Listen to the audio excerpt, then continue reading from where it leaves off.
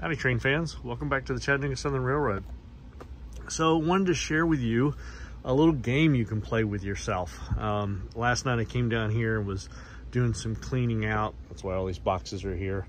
Um, and uh, I came out, came down and needed a break and do something fun. So I hooked up the DC power pack. You can see my little alligator clips there.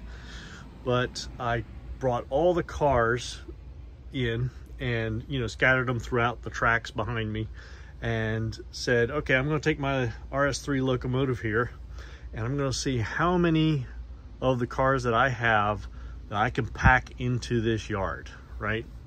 And you'll notice that i've got a plethora of different types and sizes of cars from you know 36 foot um, hopper car to the 72 foot tank car here cabooses box cars flat cars tank cars gondolas, uh, wood chip pulpwood cars, uh, you name it. And I spent literally about 35, 40 minutes uh, using that locomotive to move shuffle cars in and out, uh, trying to get them all packed in there so I had clearance uh, through the ladder, right, and along the back side there to make sure um, I could gain access to other tracks. And let me tell you, that wasn't as easy as it sounds because uh, you have to use different size of cars for different tracks. And uh, it was just a fun uh, little exercise. So um, I, I would term this game puzzle packing.